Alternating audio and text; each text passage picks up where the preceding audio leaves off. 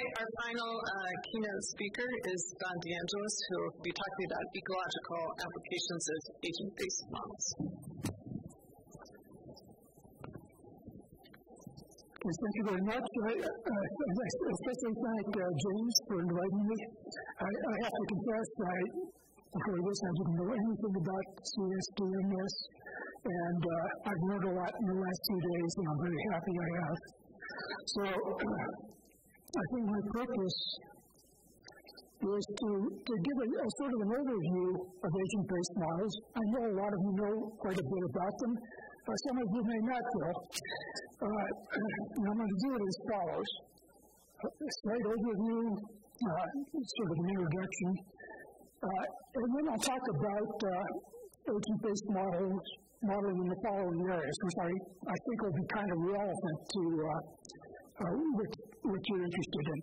Uh, first of all, uh, vegetation succession, where really uh, got started. Uh, the important, then I'm going to talk about the, the importance of spatially explicit ABMs uh, for a particular system, the Savanna system, as an example. Then I'll talk about uh, forest spatial dynamics, in particular the problem of scaling up. That's the real problem that uh, people are trying to deal with.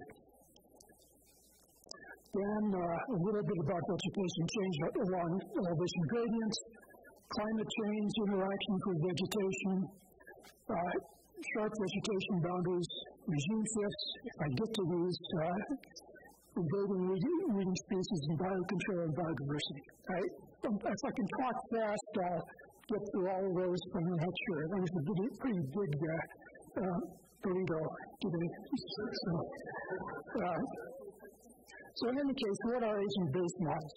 Uh, they simulate populations or communities as being composed of discrete interacting individuals or agents. And in economics, uh, since this is a very general type of model, it could be households, firms, social groups, or a lot of other things. Uh, and the uh, sets of traits may vary among the, the agents. The ABMs can range from very simple to highly complex. It can include things like details of individual life cycle, physiological state, adaptive behavior, learning, etc. And explicit spatial locations on a heterogeneous landscape, and they're animals, movement. Local interactions in space are important. They may be more important than uh, you know, overall interactions with the mean population. Various types of stochasticity, uh, using Monte Carlo simulations, we do many replicates of uh, simulations. And, and, you can incorporate genetics and do uh, evolution over generations. So, if you really want to learn a lot, uh, I'd recommend two books first by Grimm and Railsback, Individual Based Modeling. We used to call this individual based modeling. I think uh, agent based has uh, won out, but that's okay. And then they, they later on, they adapted agent based. This is how, a how to handbook, whereas this is a really uh, more philosophical overview of the, uh, the examples and so forth. So a very good, very good pair of books. And they, they strongly, uh, one of the main points is a key aspect of ABMs is they bottom up rather than top down. That is, the properties of population, community, and ecosystem level emerge from the interaction of individuals and not forced. And that makes a big difference.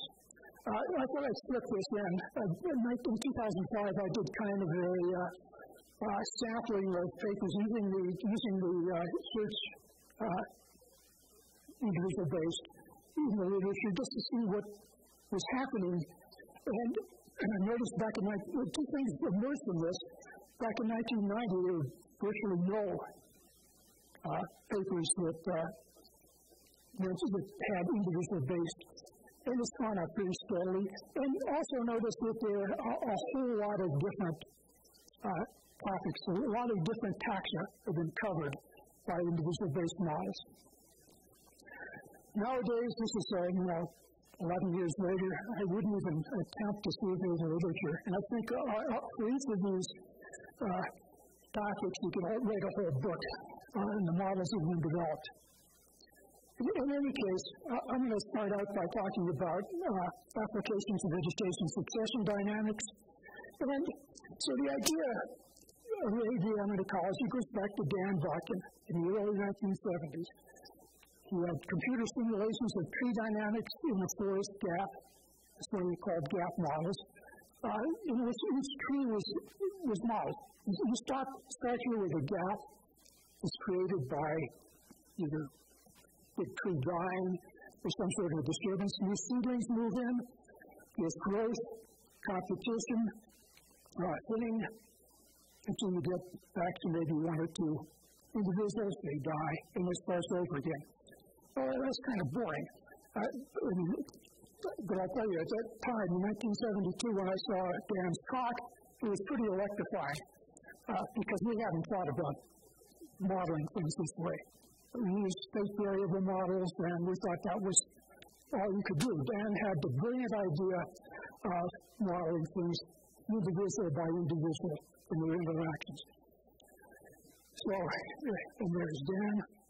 Uh, this individual-based model is called JABOWA, and, and, basically it simulates plant succession on a 0.01 hectare plot using plant life history characteristics and environmental conditions. The main processes are yearly growth, mortality, reproduction. And there's a package you can buy to. You can do these things. Very easy. It's uh, very nice. Uh, to get into a little more detail, uh, the input data, site data like climate, radiation, soil type, nitrogen moisture conditions, and these are all modifiers of the maximum growth rate of trees. Then the tree data on each of the tree species, maximum growth rate, maximum diameter, maximum height, maximum age, possible sapling reproduction per year, and the tolerances to drought, flooding, shade, nutrient tolerance. You know, it's more data, but uh, for a lot of tree species, that's, that's approximately well known, uh, it can be approximated. Uh, output, uh, simulated forest plot, and for each species, the density, the number of trees per hectare, basal area, uh, total biomass, and size structure. We get a lot of information out of that. The way it works is basically it's competition for light. Taller trees shade the smaller ones. The degree of shading influences growth. The running average of annual growth is kept in the model. The probability of mortality of a tree increases if its running average on growth is low. There's a lot more to it than that, but that's kind of the, the basics. Uh, a couple of more things I had to say. Uh, it's not really spatially structured. The trees within this 0.01 hectare plot don't have a location. They're kind of mixed. Competition for light is simulated by adding shading effects of all trees in the gap, so it's kind of smeared out. So it's kind of spatial, but it's not real spatial. We'll get to, we'll get to that later. And there's an external and an internal input of feelings. So what you get out of this is uh, simulations of succession, starting, and this is, uh, the original simulations he did, starting with uh, early uh, successional species, yellow birch, and this is for low elevations in uh, New England. Yellow birch is eventually uh, outcompeted by more shade-tolerant beeches and sugar maples. Higher elevation, uh, it's the white birch, which is uh, eventually outshaded by, uh, I think it's red spruce, which becomes dominant. Very pretty simple. This was a pretty simple uh, demonstration, but uh, very, very interesting. And uh, among the people that, uh, like myself, was electrified by it was Hank Shugart. Uh, he did he developed the FORET model, and they did a modeled everywhere in the world by now, but uh, this is a secondary succession in the southern Appalachians. And we get into output like this, which is actually percentages of the species of various types through time, over 500 years. Usually uh, pioneer species dominated, but through time, uh, mostly oak species and then some uh, maples and beeches. Come in.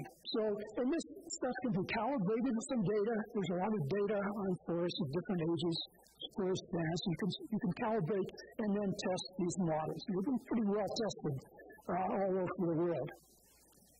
So that's kind of it for uh, the gap, these gap models. We're going to see soon how, how these are extended into uh, bigger spatial areas. Uh, before I do that, I want to take, talk a little bit about savanna systems, just to give you a, a, a reason why I think these, these models can be very important. So, uh, and I want to contrast uh, top-down model approach with these spatially explicit ABMs. So, uh, the top-down models are sometimes called spatially, they're often they're usually spatially implicit. Uh, they're useful. They're very useful.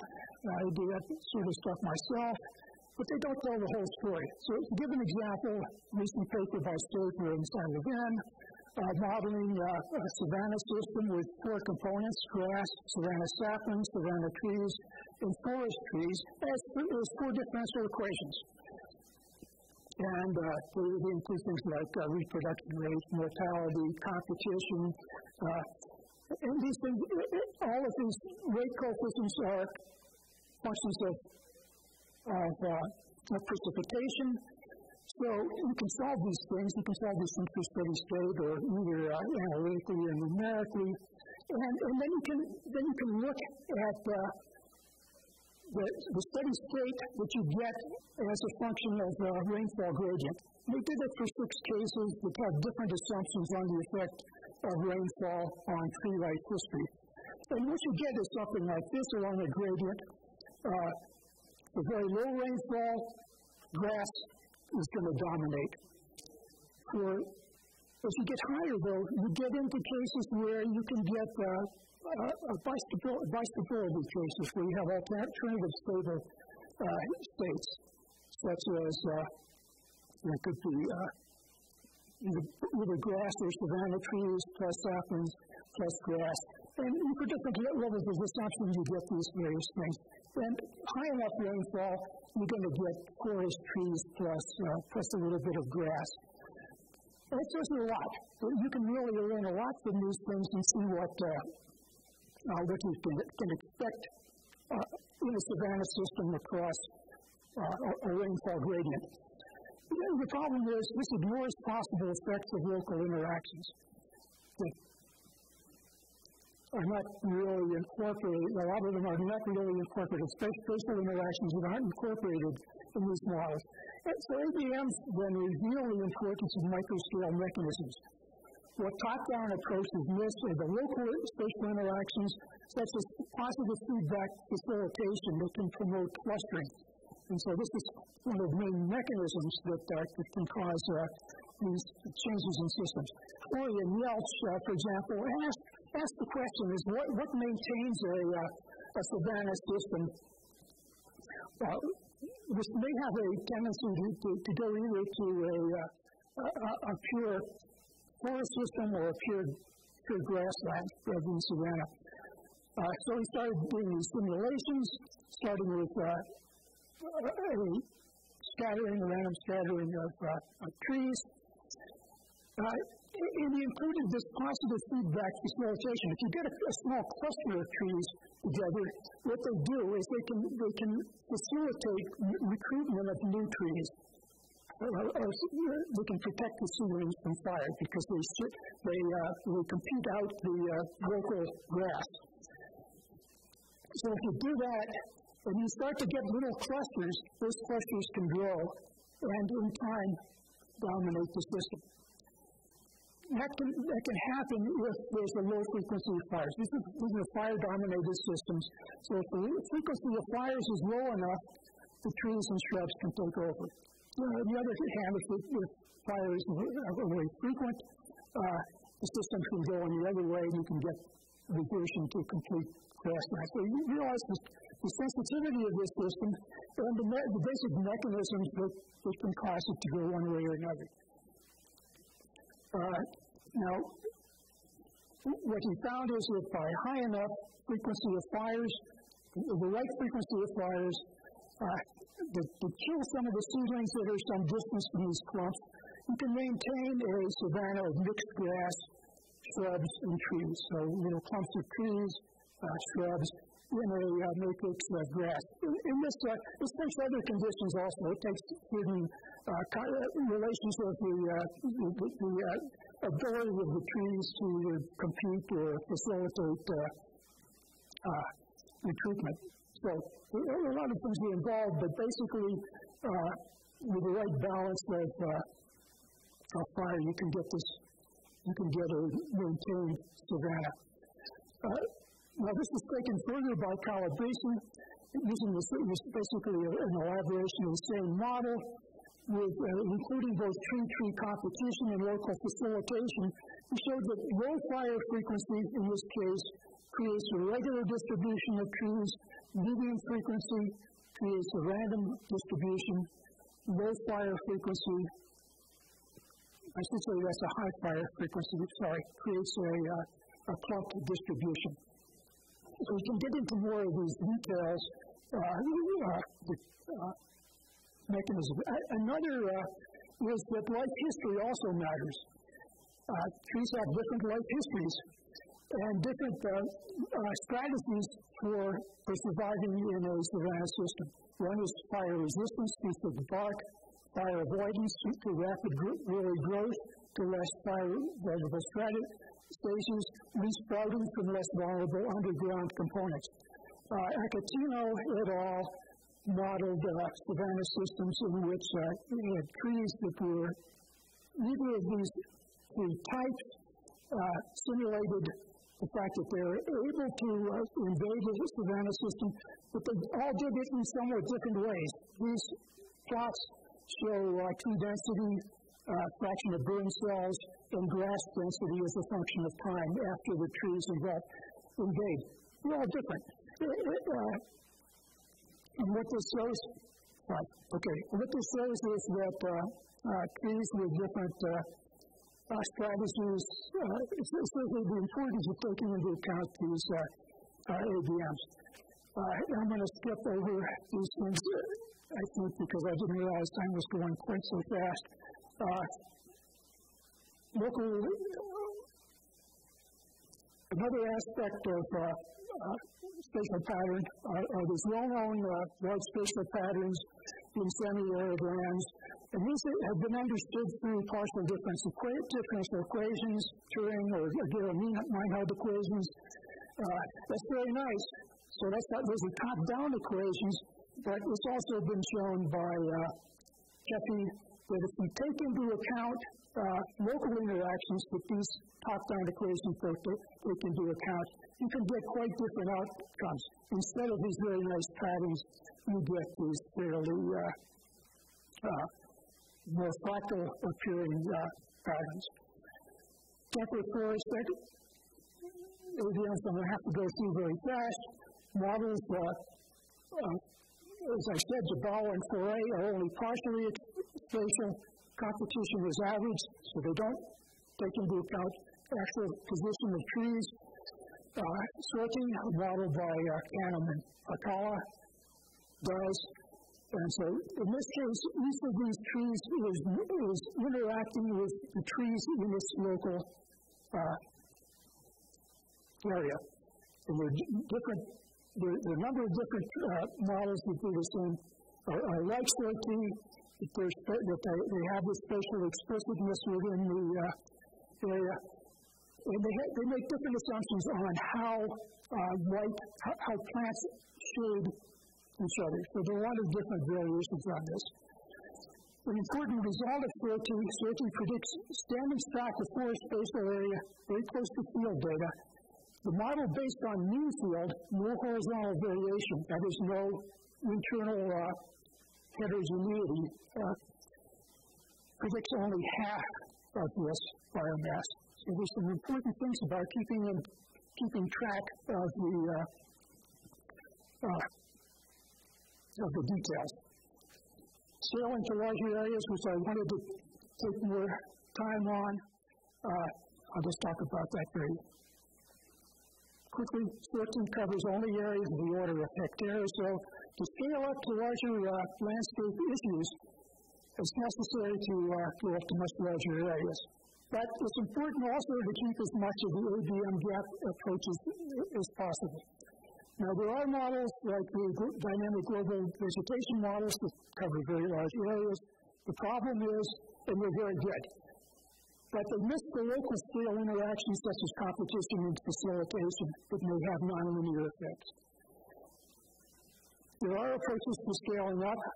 One, Mosaic by uh, Liu, Liu and Ashton does this. They model all the way from the tree up to uh, forest, small forest areas up to whole regions. That is 10 to the 6 hectares by combining these small 10 by 10 cells to uh, they're only connected by seed dispersal. Landis by, by uh, Mladenoff does the same thing.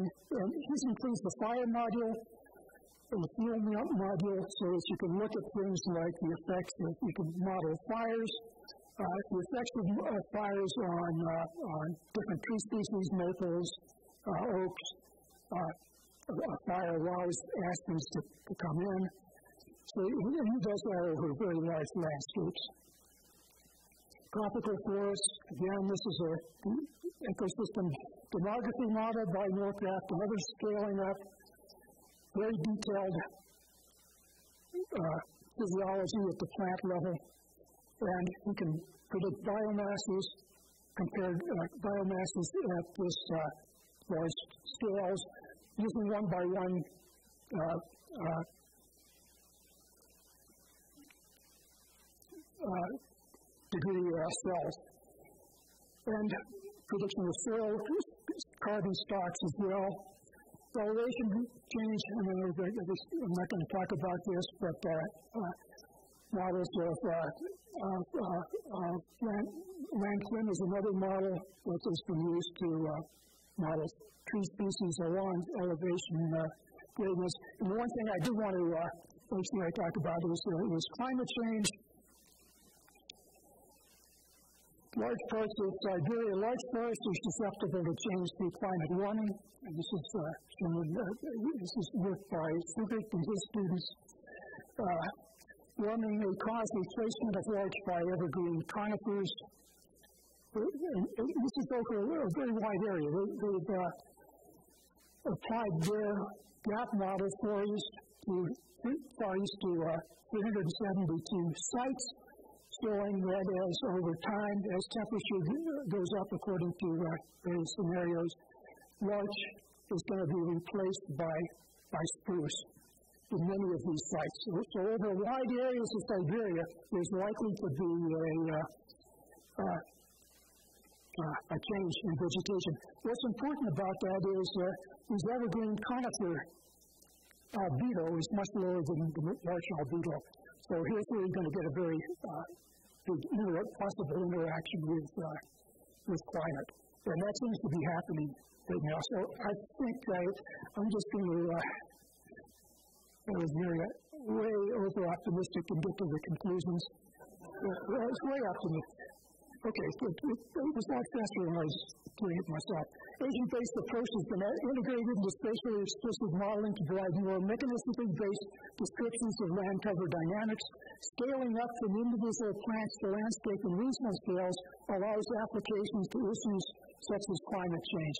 However, it's essential to include crucial mechanisms that occur at the local scale of individuals. Okay, thanks.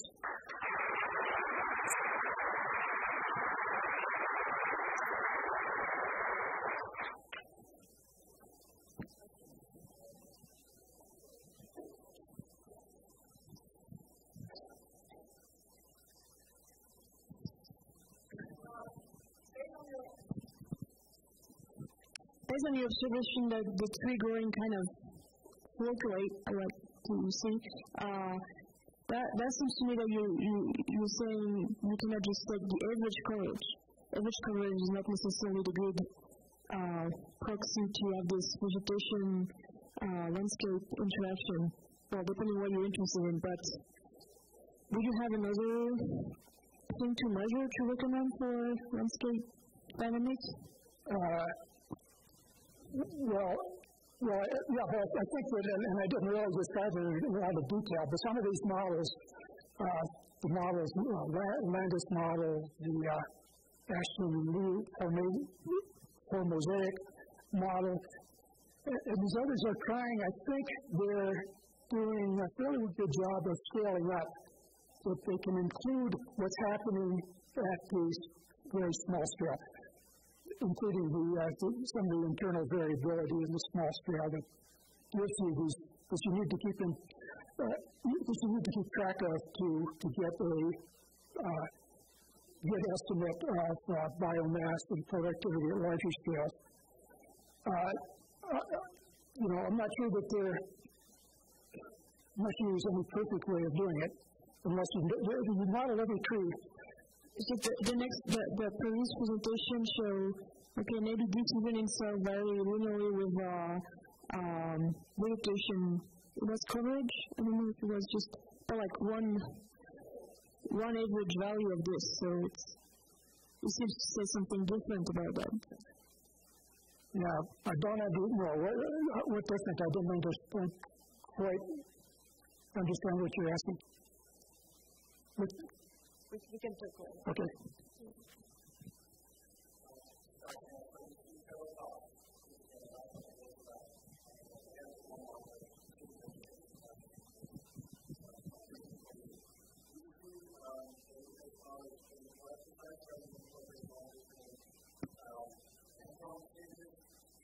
Uh,